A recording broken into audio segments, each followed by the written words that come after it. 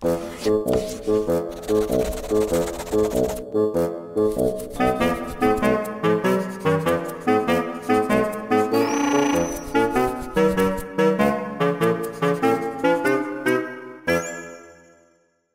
外呢，这个稀土的催化呢，还牵涉到这个汽车或机车里面排放的这个废气的净化啊，或者是把这个排出来的有毒的废气呢，转换成没有毒性的呃气体的分子。这里面稀土的氧化物主要的呃扮演的催化剂的角色呢，其实主要是像蓝、呃 neodymium 跟钋啊这些。最主要的是这几个这个这个元素。那呃，我们看一下，除了这个之外呢，还有很多的钙钛矿的，刚刚讲过 p r o p s k y 的稀土的化合物。那这些在汽车的触媒转换器里面，呃，都是最主要的 catalyst 啊。当然，最早的汽车触媒转换器是用贵金属，是用铂、钯啊。rhodium 这些呃贵的金属，甚至有些金属呢，稀有的金属，它比黄金还贵啊。那利用这些呢，来转换这个呃废气里面有毒的这个气体。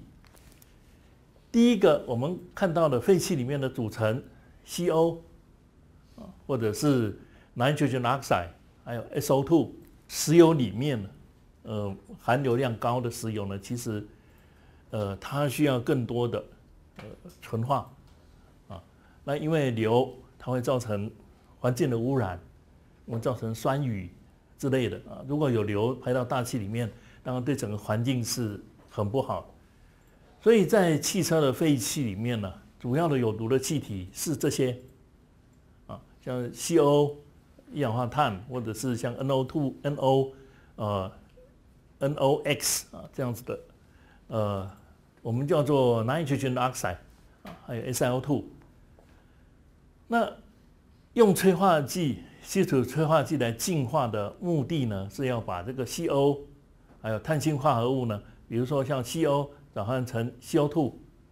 啊，很多的碳氢化合物我们可以把它转换成水，然后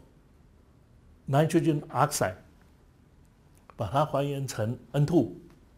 那这里面呢？都是需要这个 cerium oxide 啊，就是 CO2 啊，来当做这个催化剂。刚刚我们讲过，就是传统的汽车的触媒转化器里面，它其实需要的是 PT 呃 rhodium 这些贵重的金属啊，这是传统的。那当然它的价格非常非常的贵。如果我们用稀土的这些这几个啊，像 cerium 的这个 p r o s k y。还有我们刚刚讲的氧化铯跟氧化锆的固溶体啊，那或者是这些呃蓝呢，还有铯的 p r o s k y 它就可以呃有效的去取代这些昂贵的这些触媒呃转化器里面的贵金属的成分。呃，最近呢，纳米的光触媒像二氧化钛啊，二氧化钛它有各式各样不同的。这个 polymer anatase 的 TiO2，它是做纳米光触媒的最重要的原料。那有人发觉就是把稀土的离子，把它 implant 到这些呃二氧化钛纳米光触媒里面呢，可以提升呃它触媒的活性啊，所以这个也是。目前在文献上，我们可以看到有相关的这个这个研究。纳米光触媒，如果我们把它做在瓷砖上面，呃，贴在这个这个建筑物的外面的墙壁，它可以自洁的作用，它可以有 self cleaning，它有自洁的功能，叫 self cleaning。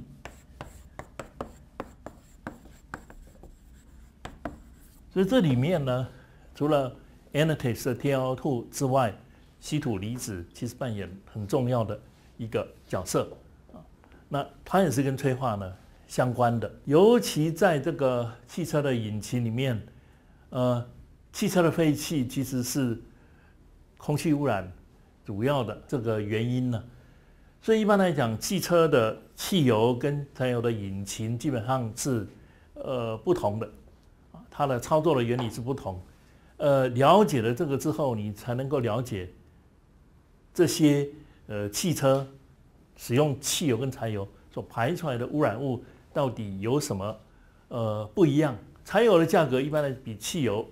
还要低啊，但是不管你用汽油或柴油的引擎呢，它都是要经过几个固定的 process，比如说汽油呢，它需要进气，然后把汽油呃在这个呃 carburetor 里面把它气化，空气跟汽油混合了之后呢，再点火，再压缩，然后呢呃让它产生在引擎里面呢呃燃烧产生呃爆炸啊，那汽油引擎的热效率呢？大概二十五到三十个 percent，其实是不高的，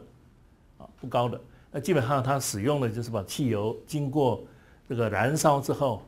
啊，当然会产生一些我们刚刚讲的这些呃产物。那汽油引擎的转速呢，到七千五百转是相当相当高，废气的温度高，啊，但柴油来讲呢是完全不一样的，啊，这个柴油呢基本上是把呃，柴油这本身呢，把它压缩、点火，所以柴油引擎跟汽油引擎基本操作的原理是不同的。一般来讲，我们会认为柴油的引擎它的污染性比较高，但是有些人不认为柴油引擎污染性比较高。那这个柴油引擎呢，它基本上是把柴油呢 pump 进去之后呢，直接压缩、点火啊。跟汽油呢，你需要有这个油跟气的比例，要固定的比例呢，进到引擎室里面去燃烧，啊，那才能产生动力。所以柴油引擎基本上是跟这个不同，它的呃热效率呢比汽油引擎高大概三十五到五十个 percent 左右，啊，那呃转速稍低，大概只有四千五百转左右。柴油引擎出来的废气的温度比较低，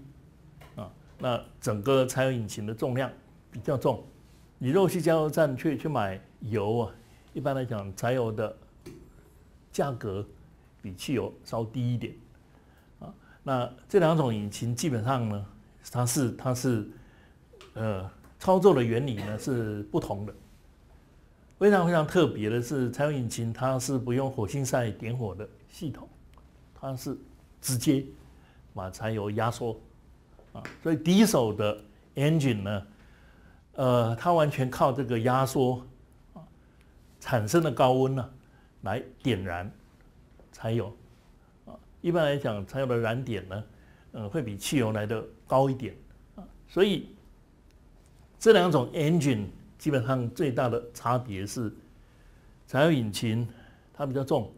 它必须要能够承受比较高的。压力啊，因为它是靠着压缩啊产生的高温呢来点火，所以一般来讲，柴油引擎笨重啊，它的热效率呢比较差一点。呃，大致上看一下就就可以。那这两种引擎呢，基本上产生的这个操作条件不同，产生的排放呢，像柴油引擎的 CO2 的排放，呃，比较少。汽油引擎的 CO2 排放呢，呃比较高，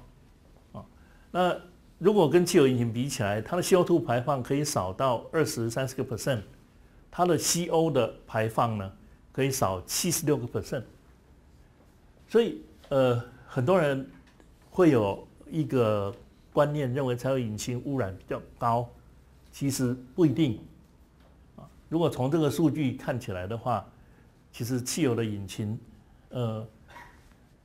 排出来的这些 CO2 或者 CO，其实比柴油的引擎呢要要来的更多，啊，来的更多。只是柴油引擎里面，它如果燃烧不完全，会有一些呃 size 比较大的这 particle，其实对空气呢污染是比较严重的。但如果说从 CO2、CO 的排放量来看，呃，并不是这个样子。我们可以看得到，其实我们像呃环保署啊，对这个呃空气排放的标准呢，其实在台湾来讲是全世界也算是非常严格的啊，就是我们对汽机车的排放啊，它排放出来的废气的要求设定的标准，在全世界来讲是非常严格。那呃。一般来讲呢，这个柴油引擎价格是比汽油引擎要来的贵的啊。那呃，柴油车呢，它的燃料费其实是比汽油车要来的省啊。那我们看一下这些有害的这个呃废气啊，那基本上跟这些稀土的催化剂到底有什么样的关系？一般来讲，用稀土像四。氟或者是蓝啊，当做催化剂的呢，呃，当然是要把 CO 转成 CO2，或碳氢化物转成水啊，主要是扮演这些功能。那这里面 p r o p s k y 或者是 Spinel 的这个氧化物，其实是最重要的。它是 Spinel 或者是 p r o p s k y of rare earth。最主要的催化剂呢是这一些，另外像这个 CO2，我们晓得 C 一呢，呃，它有四价跟三价，嗯，所以它有 redox 的这个功能，因为它有氧化还原的这个特性，那通常它可以借由氧化还原的反应，把这个 CO 或者 hydrocarbon 或者呃，nitrogen oxide 呢，转换成这些呃害处比较低的这三个产物。那你说 CO2 其实也是温室气体啊，啊，那你燃烧废死的燃料，呃，就是这个这个化石燃料，就一定会产生 CO2，啊，这对环境的冲击是是一定的。但是 CO2 至少不像 CO 呢，对环境的污染呢那那么重。好，所以这些稀土，如果我们把它呃做成这个催化剂，尤其是稀土的陶瓷啊，呃，当做一个载体的话呢，那基本上它就可以在汽车的这个废气的处理上面呢，呃，扮演重要的一个一个角色。好，底下这两个反应是我们在汽车的废气里面啊。它排放的废气里面呢，呃，最主要的第一个当然就是碳氢的化合物，啊，这个叫 hydrocarbon 的这些呃排放出来的化合物。那一般来讲，我们会把它用氧化的反应，转换成 CO2 啊，虽然它是温室的气体，那可是毒性呃比较小一点。那当然对对环境的热污染。还是一样的严重。那 hydrocarbon 呢？我们可以把它转换成 CO2 跟水。如果你有 NO，利用氧化的反应呢，可以变成 CO2 跟 nitrogen。呃，碳氢化合物跟 NO 产生反应之后，可以产生这个 nitrogen CO2。啊，这个 NO 呢，也可以产生 nitrogen。另外，像如果有 ammonia 产生的话呢，我们可以把它呃。转换成，其实这是氧氧化的呃反应，转换成 N2 跟这个 H2，以上这六个反应啊，通通是催化剂，尤其在汽车触媒转化器里面，催化剂呢，它所牵涉到的 oxidation 的 reaction，这部分跟化学呢是息息相关的，所以其实汽车的制造厂里面。呃，为了触媒转化器，它所使用的催化剂，其实投下了非常非常多的人力啊，那去做这方面的研发。那像这个还原的反应呢，比如说你有 NO，它把它还原成 N2，呃，nitrogen oxide 呢还原成 N2，啊，CO 它把它呃转换成 H2O 呢，把它呃变成这个还原成这个 H2，所以把所有的这些汽车引擎排放出来的废气，经过转换以后呢，就是 CO2、N2 啊、H2O 啊，甚至有一些是 hydrogen。那这些当然对环境的冲击，呃，比较小一点，啊，当然我们知道 CO2 它是温室气体一样的，对，呃，温室的效应呢，它还是有一些呃贡献。好，所以这一些反应呢，其实就是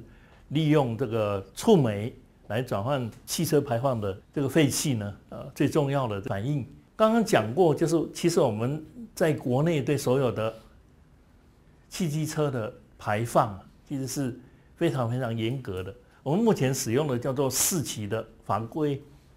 啊，这个是两千零八年之后呢开始实施的。你去做做汽车的检验的时候呢，他第一个他看你的呃排放的废气啊，比如说小客车来讲呢，像 CO，他会验碳氢化合物，验 CO。验这个 nitrogen oxide 啊，主要是是这些。那这个是车子在呃行进的时候，他做的这个这个检测。那如果你车子停在那边呢，把引擎打开，他会测定这些啊，就这些。所以在这个怠速的时候，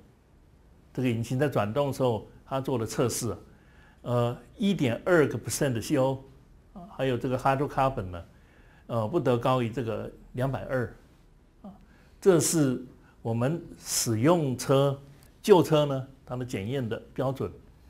如果你是新车，它的要求更高，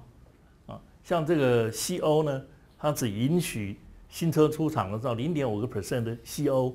到的 hydrocarbon 呢一百个 ppm 啊。所以这个标准在全世界来讲都是属于很严格的这个这个标准啊。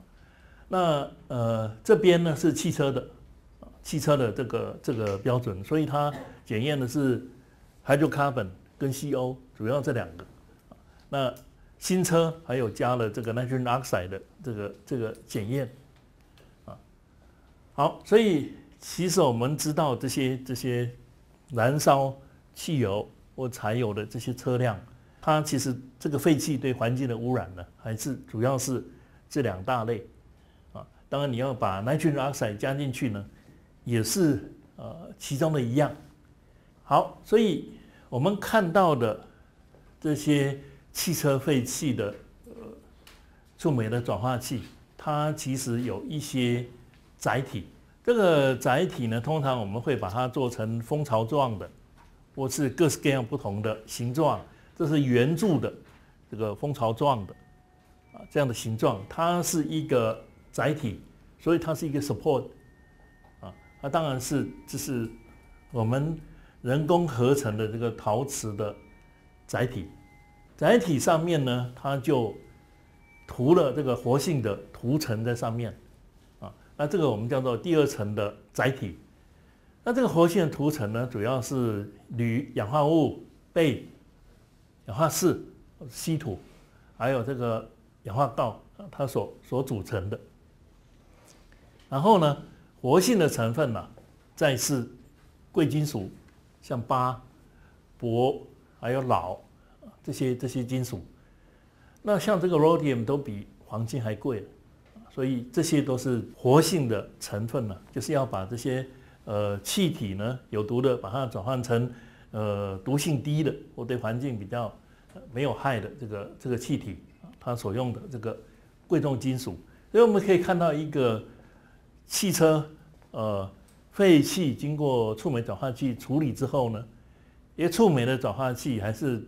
基本上需要这些呃最主要的这个 component。啊，这些主要的这个 component，像钯、palladium，呃，像这个 Pt，像 rhodium 这些呃贵重的金属，其实这些都是触媒转化器里面呢，呃最基本的结构。所以第一个，它这个载体呢，还有一次的载体，二次的载体就是 coating 在 coating 里面它就会用到氧化铯啊，尤其是铯跟锆呢，它的固溶体。那主要的好处是这些陶瓷它其实是可以耐高温啊，它可以做成各式各样不同的形状，或者是甚至粒径啊，都可以做得到。那真正昂贵的是这些活性的成分啊，那这些成分像 palladium、PT 或者 rhodium 这些都是最主要的这个呃贵金属。好，那这个汽车触呃这个触媒的转化器里面呢，用来洁净这些呃废气的主要的稀土的氧化物呢，是 CO2 跟氧化乙，啊，它当做这个第二次的这个载体。那好处就是我们使用这些催化剂，可以呃扮演催化的作用，或者是助催化剂的作用，然后降低贵金属的使用量，啊，那还能够达到这个这个呃废气呃洁净的这个效果。好，所以这些呃催化剂的载体的性能啊。基本上都需要除了载体以外，还要经过二次的这个这个 coating 啊。那 CO2 当然是呃最主要的。另外，像这个 CO2 另外一个功能呢，就是它可以在三价跟四价之间转换啊。你要把三价的氧加进去以后，所以它可以调节氧的含量。它事实上是有。Oxygen storage 的能力，啊，这是三价跟四价之间呢最大的呃区别啊。换句话说，它的功能呢，一方面它也扮演 Oxygen storage 的这个这个能力啊，所以对调节氧的浓度其实是呃非常有帮助的。那换句话说，你需要氧的时候呢，它可以把氧提供出来，把 CO 转成 CO2 啊，或者是呃 hydrocarbon 呢转成 CO2 跟水，它有这样子的一个一个功能。那催化剂的抗毒能力也可以借由这个稀土呃去产生。比如说现在废气里面有硫，硫对催化剂，比如说硫跟白金、硫跟这个呃铑或者是钯这些，它都是 poison 啊，它就是毒药。那所以基本上，呃，可以借由这些稀土的催化剂呢，先把呃硫啊，比如说你有硫的话，它可以利用这个 CO2 把它转换成硫酸四，啊，就可以利用这个呃化学反应呢，把硫除掉，那这个硫就不会去毒化这些呃贵重的金属，所以它扮演这些功能。好，在这里啊，我们可以看到。在触媒转化器里面呢，其实它有几个主要的 component，呃，稀土的金属，包括稀土的氧化物啊，另外它有一些碱土金属，还有过渡金属的氧化物呢，这些啊是这个复合型的催化剂里面主要的呃组成。这里面当然它汽车废气它基本上要能耐高温，所以它必须要有。thermal stability，第二个氧气的储存，这其实很重要的，因为氧在这里面扮演重要的角色。抗中毒的能力啊，如果你有硫或其他一些非金属的元素呢，会让这些贵金属呃中毒。好，所以 CO2 基本上扮演了这样的一个角色，所以我们看这个图里面呢，它就有很多像这个图，它显示的这是一个 particle。那 particle 上面呢，它就有 CO2 啊，我们叫 Ceria，它是 CO2 的啊，我们叫视土啊，典型的稀土元素，它 coating 在这个 particle 上面。这个 particle 呢，在摆到这个蜂巢状的啊汽车触媒的转化器。好，所以利用这样的一个结构啊，可以把排放出来的废气呢，加以有效的这个这个转换啊，那所以这个这个汽车触媒转化器它有三个重要的功效，第一个当然就是热稳定性也非常的高，oxygen storage 的能力啊，它可以储存，它可以把氧释放出来，另外呢，它可以让这些贵金属不会中毒，所以这个叫做三效啊，就是三种不同功效的这个催化剂。那这个图啊。它其实显示的就是 CO2 的这个呃 nanoparticle 上面呢，它是贵金属是金，那这个 CO2 呢，它吸附在金的原子上面。那 CO2 基本上这个 nanoparticle 的载体啊，它主要提供的这个氧跟这个 peroxide 的这两个 species，可以把 CO2 呃把 CO 呢转换成 CO2 啊，好，所以。这是在汽车触媒转换器里面呢，我们除了使用贵重的金属，啊，像金、白金、钯，然后 CO 呢吸吸附在上面，啊，吸附在上面的 CO 呢，它可以经由这些稀土的催化剂，啊，把它转换成从 CO 转换成这个 CO2，啊，所以。实际上文献也有这样子的这个研究，不过它的 requirement 是 CO2 呢是 nanoparticle，大概四到五个 nano 的，呃，这个尺寸，这样的这个这个尺寸。那这个 gold cluster 呢，其实它粒径更小，它形成一个 cluster 的时候呢，大概三到四个，呃，纳米的尺寸，啊，利用这样的一个装置，还有这个结构，啊，基本上就可以把 CO 呢。转换成 CO2，啊，所以这个也是相当呃有效的一个把 CO 转换成 CO2 的一个途径。好，所以在典型的汽车触媒的转换器里面呢，其实我们看到在这个呃 muffler 啊，在这个 exhaust system 里面呢，呃，最重要的就是我们叫做 catalytic，就是它可以把废气呢，有毒的废气呢。做这个呃 TO 转换啊，那它整个结构你可以看出来，它是它是有非常非常高的表面积啊，做成蜂巢状的或各式各样不同的形状呢，这些我们都可以呃经常看得到。所以，我我们如果把一个 catalytic converter 把它打开，事实上它里面的构造呢是这个样子啊，有人去回收这里面的。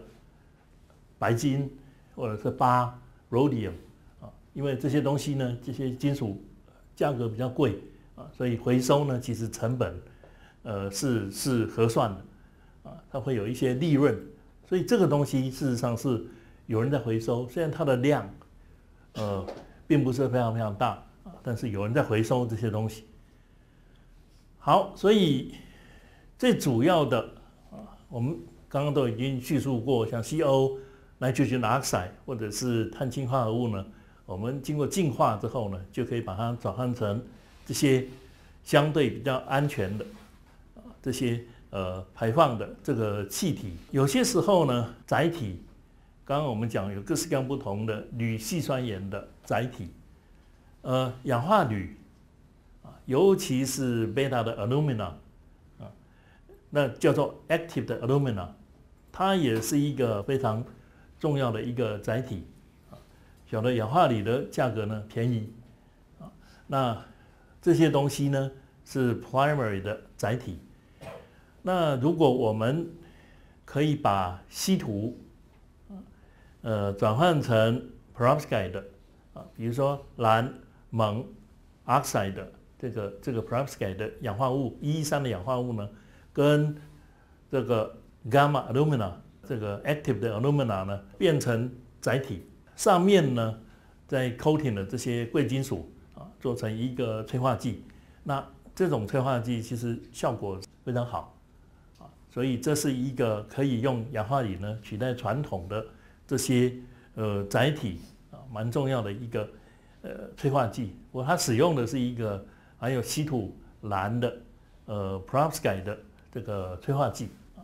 一样的，在这样的催化剂里面呢，你一样要使用八才能达到这样的功用。我们前面都讲过了啊，基本上可以把这些呃 exhaust 里面的这个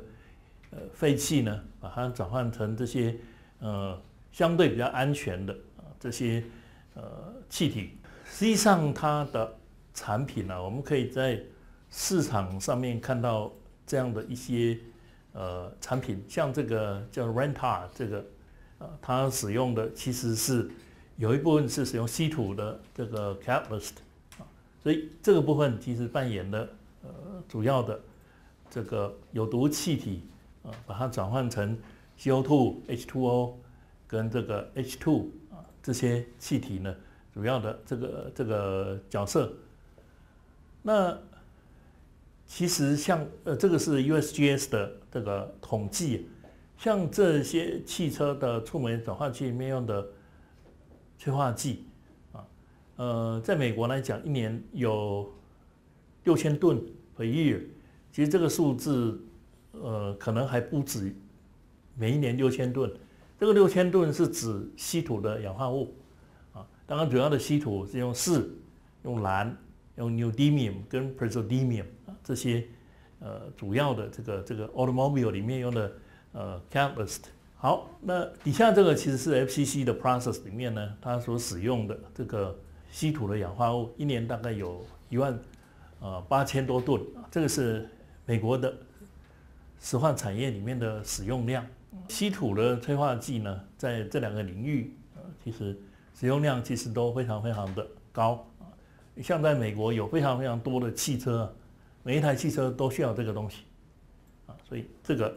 呃，它是很重要的一个 application。这个示意图，其实我们刚刚讲过，就是把这些 hydrocarbon、CO、hydroxide 呢变成这些啊水 CO2 跟这个 nitrogen oxide 这样的一个简单的一个示意图。